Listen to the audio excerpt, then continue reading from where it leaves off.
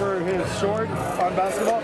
Do, do you think that's fair? Do you think that if you win an Oscar, you should automatically get in the Academy? Or uh, I mean, they're gonna make it tough on him, but I mean, I know he, he's a hard worker, and uh, one way or another, he'll end up in there. Okay, okay, and then um, so with Kobe and entertainment and and LeBron, uh, they say he's going to do a remake of House Party, and he's involved in entertainment.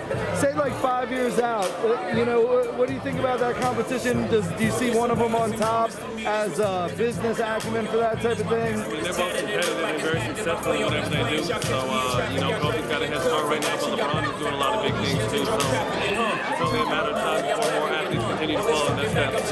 Yes, sir. I read. Um, that you were talking about um, on black on black violence. Uh, uh, you had some comments on that, and there was some statistic that got posted. I think it was five uh, that said that um, like no matter what race you are, um, usually you'd be attacked by by someone from that race.